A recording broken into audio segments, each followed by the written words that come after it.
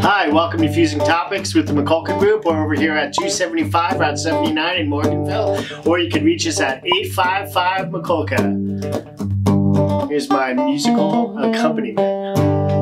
Yeah. All right. All right. Johnny, Here tell them are. about the contest. All right, so we are sponsoring a contest with uh, 106.3 Thunder. Thunder, Thunder, and it's called the Cash Call.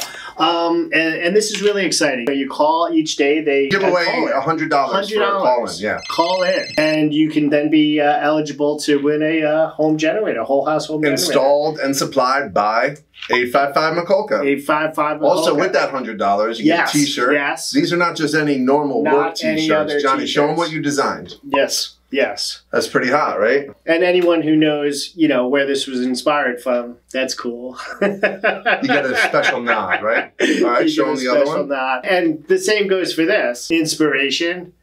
Tell me who it was. and wait, wait, wait for it. All right, all right, all right. All right, excellent. Yeah. Yeah, definitely tune in and log on to uh, to the website for 106.3. Log on to our website Right. at uh, www.855mikulka.com Yes. and uh, check out the cash call. Right, uh, because that you call in, you win hundred dollars, and you can win an additional hundred dollars if you go to our website and look for the artist of the day. That's right. Yes. And and and also you'll be registered to win the grand prize, which is a free uh, installed uh, standby generator. yes. All right, cool. So, what we wanted to talk about today is generators, being that we're giving away a generator Yes. on that wonderful country music station, 106.3 106.3 Thunder. Thunder. Right, and Johnny is going to have all country themed music in the recorder, yeah. right? All country Yeah. themed, but we're gonna do outlaw country, Yeah. Right? Yeah. We're gonna do Johnny Cash, Mhm. we're gonna do Waylon Jennings, Yes. we're gonna do Willie Nelson, Yes. and that's mostly because we're old, and this is the kind of country music that we remember. Yes. But I gotta ask, Christine, The you're a country millennial music fan? A little bit. A little bit. What kind of country music do you listen to? Definitely more of like the Luke Bryan, Luke like Bryan. poppy type of country. Yeah. Name name a country song for us. Barefoot Blue Jean Night. Sure. Barefoot Blue Jean Night. Sounds All right, great. right on. Does does it mention a pickup truck?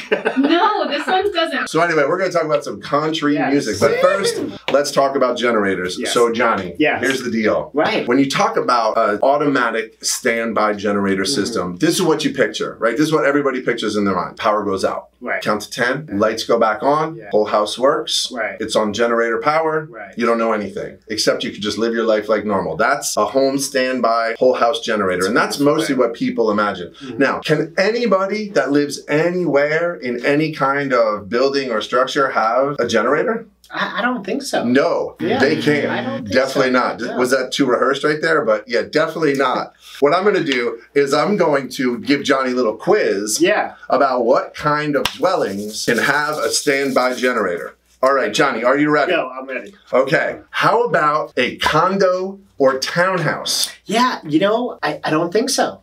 Right. Maybe. It's a hard maybe. You have Yeah. HOAs to abide by. Yes. There is a lot going on there. Yeah, so Yeah. that is pro- I started with probably one of the most difficult Mm. ones because Mhm. condos and townhouses, you have many different entities. Right. If you have a multiple occupancy building, you have neighbors that are attached to your Right. building. Right. Typically, if you have neighbors that are attached in the same building, No the answer is going to be no. No bueno. Correct. So if you have a townhouse that's all by itself, that's Right. that's single standing, It's a hard maybe. yeah, that's Okay. a hard maybe. But also, you have the HOAs, Mhm. you have that sort of thing to deal with. What a lot of people don't understand is that there are many, many entities to deal with Right. when we're going to put in a standby generator. Yeah. So, how about a single family home? Sounds good.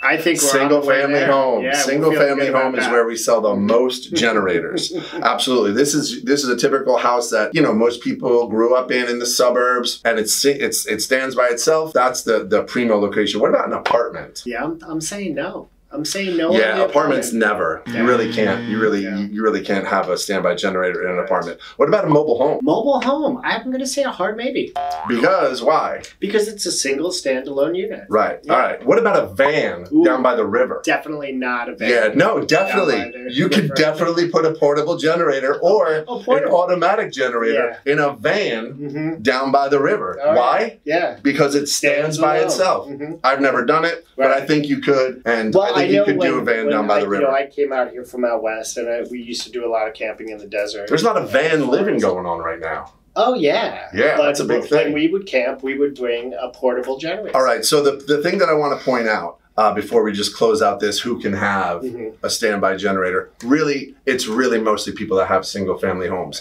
However, if you register to win a generator from 1063 and 855 Mikulka and you don't own a home, fear not, because there's also a cash prize if you're not eligible for a home standby generator. It's a home standby generator or $8,500 in cash. What? So please log in and call in and register and collect that money and those t-shirts and we hope to hear from you soon. That brings us, I am so excited, Christine. I am so excited about our our country Yeah. music extravaganza that we are now going to start with this episode. And Johnny, bring us Well, in. you know, I'm going to talk about outlaw. I'm Outlaw. talk about What do we mean by outlaw? Well, and what determines outlaw? I'm asking a question. yeah, I, What I, determines outlaw country? I, I, am hoping you have But, the answer. well, my answer would have been if you've been arrested for drug possession.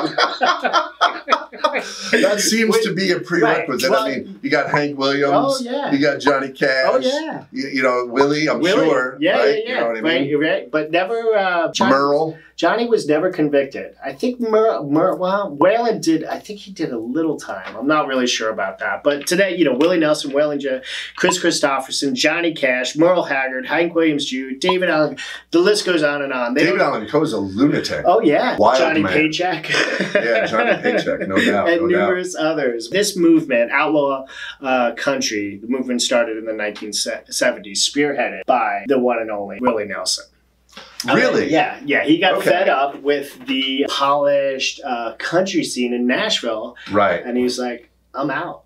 Right. Now, I would say that the polished country scene in Nashville has probably just gotten more and more polished. Mhm. Over right because what what I've noticed about about the the current country music is you have these wicked wickedly talented musicians. I mean, this music Right. is so uh, you know so crazy. Like those Brad Paisley, right? Like those kind of like just over the top guitar players and stuff like that. And the stuff is produced really on the level more of like of, of pop music Right. Yeah, Right. at this point. Would you agree with that, Christine? definitely. Okay. yeah so so when I think of outlaw country, I think of like those mamas don't let your babies do grow up to be cowboys. Oh, sure. Yeah, you know, yeah, like talking Mhm, about, you know, mhm. just getting Yeah. I turned 21 in prison, Right. doing life without Right. parole. Right. Okay. So Willie goes to Texas.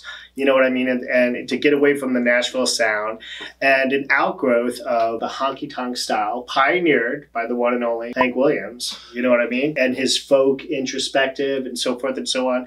Um, and this is where these guys grew. And there was hippies. You know, there was a scene going on. Yeah, see, because You know, there's like, right, there's a there's more of a blues element Austin. Yeah, to me Austin. in, in outlaw country music. Like a lot of Waylon. Jennings stuff. Oh yeah. Like Waylon Jennings is my favorite outlaw country artist, and he he does a lot of a lot of blues. So listen, I'm gonna play I'm gonna play a riff. Mm-hmm. Yeah, we're gonna it. we're gonna check Johnny's country Oh, music so acumen. fair. Okay, we're gonna check his country music acumen. So Yeah. I will take anything. I will take the artist. Okay. I will take the Okay. song. All right, so I'm Anything, giving a lot. okay? Okay, yeah. Johnny Cash. Ring of Fire. Be close.